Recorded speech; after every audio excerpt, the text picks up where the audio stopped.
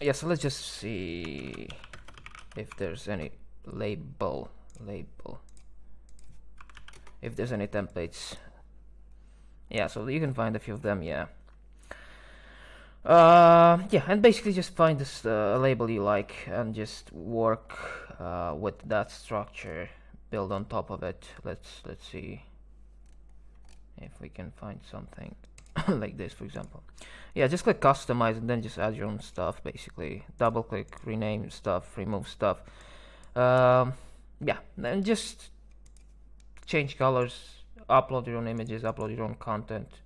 Um, it's relatively simple to to work with mm, Canva basically basically uh, yeah and once you're done just go to share download PDF print and then just print your labels uh, and that's it basically but if you're just wondering how to make uh, text uh, rounded so that it, it fits on a rounded label it's easy to do just add your text uh, I don't know why I keep saying it's easy to do. It's obviously easy, but if you don't know, it's not easy. It's like, yeah, anyway.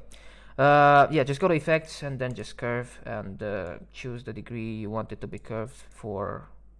And uh, that's it, basically. Basically. Uh, and then you can use it like for your rounded label and stuff like that. Uh, yeah, maybe, so if we have the initial label design, like this yeah maybe you wanted to do something like that but didn't know but now you know which is great knowing things is is really great by the way.